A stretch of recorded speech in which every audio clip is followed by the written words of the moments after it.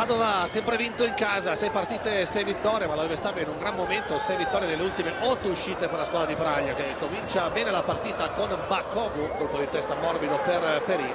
Braglia sceglie Bakogu e Raimondi, due ragazzini del settore giovanile del Padova in prestito alla Juve Stabia per questa partita. C'è Lazzarevic in campo, il suo slalom al diciassettesimo alla conclusione. Bravo Colombi a mettere con i pugni in calcio d'angolo al 27esimo lungo lancio di Italiano arriva Cutolo.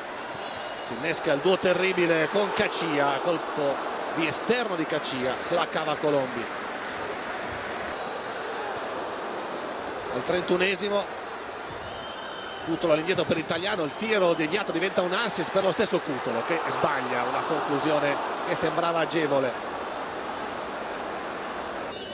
partita resta molto intensa, si gioca sotto la pioggia e al 38esimo cambiano le cose, lo stop di Cuffa, il suo tiro, la deviazione, la gran parata di Colombi, Caccia da mezzo metro. Va a portare in vantaggio il Padova, classico gol di Daniele Caccia da rapace dell'area piccola, 1-0 per il Padova a fine primo tempo. Nel secondo tempo entra Erpen tra i tanti cambi di Braglia e cambiano le cose, suo l'assist per Bakogu che da ex va a segnare il gol del pareggio al quinto minuto del secondo tempo e poi va a ringraziare il suo allenatore. La conclusione in diagonale non ci arriva Perin. 1-1 la reazione della Padova il colpo di testa di Caccia il contatto fra Davì e Cuffa c'è calcio di rigore per il Padova. Va italiano sul dischetto al tredicesimo e riporta in vantaggio la sua squadra. 2-1 al tredicesimo secondo gol in stagione per il capitano del Padova.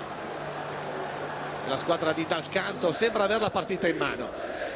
Al 32esimo però si fa sorprendere il lungo rilancio di Colombi il colpo di Gidai ancora il con il grande assist per lo scatto di Sau entrato da una manciata di minuti diagonale nulla da fare per Perine parità ancora all'Euganeo 2 a 2 al 32esimo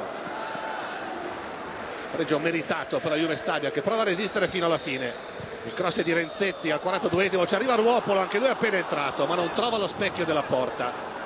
Si mangia il gol Ruopolo. Finisce così 2 a 2 alle Ugane